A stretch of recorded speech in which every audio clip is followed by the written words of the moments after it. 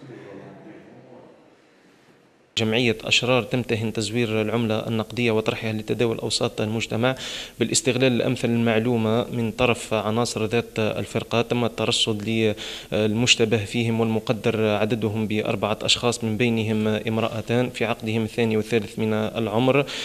تم أيضا حجز كمية من العملة النقدية من فئة 2000 دينار جزائري قدرت بإجمالي 700 ألف دينار جزائري كلها مزورة ذلك ما أثبتته الخبرة مع المصالح المختصة.